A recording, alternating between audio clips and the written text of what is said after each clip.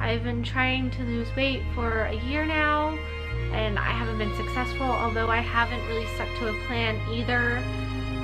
I have been, I've tried to work out and then I do it for like two weeks and then I can't do it anymore. And I try to eat better and then I'll go like a couple weeks and then I can't do it anymore and I'm very unhappy with myself. I just feel like I'm not even living life, I'm just existing in life and that's not what I want.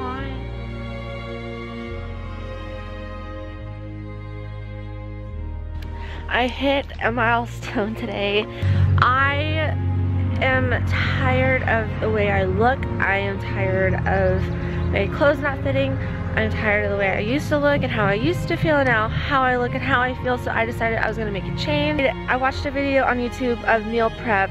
So I, I meal prepped the whole week. I've meal prep breakfast, lunch, and dinner and I've been doing it for, today would be day four and I've already lost six pounds and I know that's crazy. I was at 165 and I hit the 150s this morning. I'm 159. Uh, I've been trying to lose weight for so long.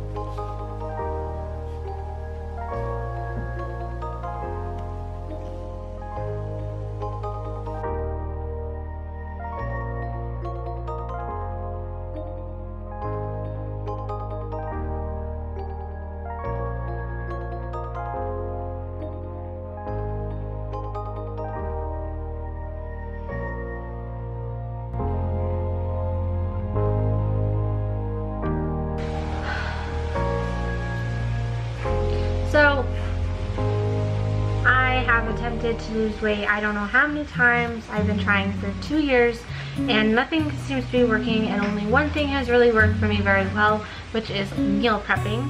And so I decided to start meal prepping again. I did meal prep back in the beginning of June because I wanted to have the body by my birthday which was today and I got about two weeks in. I think I lost like 10 pounds and then I kind of gave up, which really sucks. But I'm gonna start again and this time I'm doing it for real. And I say that every time, I know, but I'm tired of looking the way I am and I just wanna be back to my healthy weight.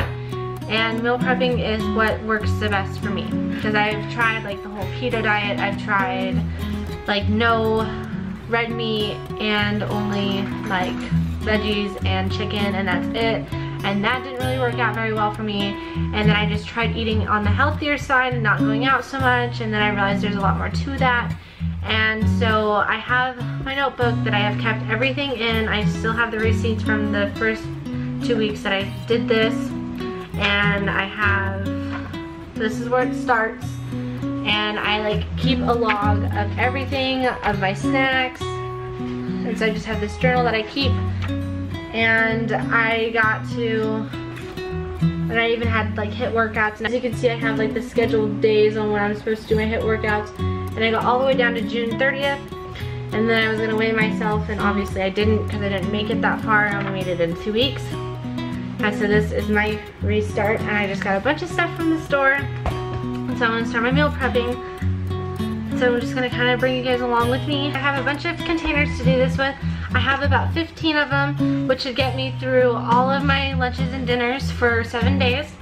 And they just, they look like this on the inside, so you put like your big stuff here, and then you put like the little stuff on this side, and then it comes with a lid. And then for my, so basically what I'm gonna be doing is in the mornings I'm gonna be making smoothies, and my smoothies are gonna go in these jars, and when I don't have these jars anymore, I'll use these. And these are the ones that actually go to my blender for work, which I work a lot of nights right now. And I'm hoping that's gonna change. But I do, I did buy a lunch box that I'm gonna put all of my containers in, which I do actually have one in here right now. And it fits in here quite perfectly as you can see. It's like whoop, bam. And then the lid closes just fine. And I bought ice packs and everything. So this is like legit, like for sure gonna happen this time because like I am just so tired of trying and failing.